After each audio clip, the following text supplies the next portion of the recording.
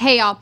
I know there are a lot of questions out there about should I buy this organic or what should I do uh, when it comes to organic or not organic? And there are a lot of buzzwords in foods that can be super confusing and difficult. Well, first off, organic is in fact a term that's regulated by the government, so they have to fulfill certain protocols. What exactly they have to fulfill is kind of complicated. They are, in fact, allowed to use some kind of levels of pesticides. Certain things are allowed within that, and um, but they are things that are considered to be that they meet these organic standards, whatever those may be. You can go on the internet and Google it, and you can actually find the document that tells you what that is. From a standpoint of um, what to buy that's organic, or is it important to buy things that are organic? I know for me personally, I do like to buy things that are more organic. However, it can be really expensive, and when you're looking to start to buy new foods that are uh, difficult for you, or maybe you are a little bit tight on cash, I would much rather you buy vegetables than worry about them being organic or not.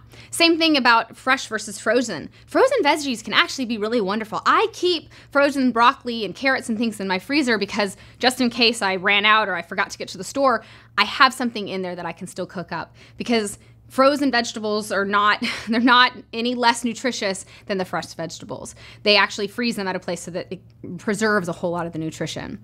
But when it comes to organic what i tell people is vegetables are more important than that side of it. But if you care and you have the money and you'd like to go a little bit farther into organic then you can start with the environmental working group's dirty dozen. Now that changes from year to year. Don't have it all memorized now. I have had it memorized in the past.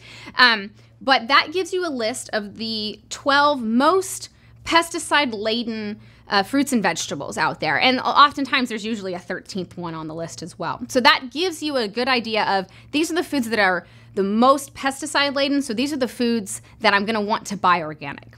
Now, I know organic can be more expensive, but at the end of the day, if you're buying organic fruits and vegetables, while they are more expensive than conventional fruits and vegetables, their overall grocery bill will probably not actually go up as much as you think it might because you're not buying product packages. Really, where organic as a label starts to make things expensive is when you're buying organic mac and cheese versus Kraft or whatever it might be.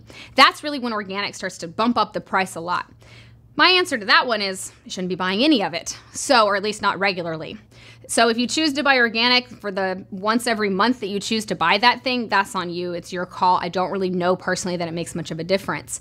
Um, however, if it is really important to you to vote with your dollar, then always buy organic. Otherwise, if your budget's a little bit tighter, buy vegetables first. That's the most important thing is get the nutrition in. After that, maybe try and use the environmental working group's dirty dozen to pick and choose which ones you might spend a little bit more money on. Then, in a perfect world, maybe everything is organic. And an even more perfect world, you can actually buy local, directly from the farmer.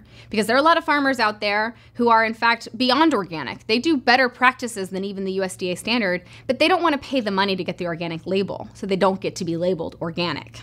So that's my brief rundown about organic. Again, check out the environmental working group's Dirty Dozen. I think we're going to have a link for you guys below or to the side. I don't know where, but we'll have a link for you so you guys can get to that page easily.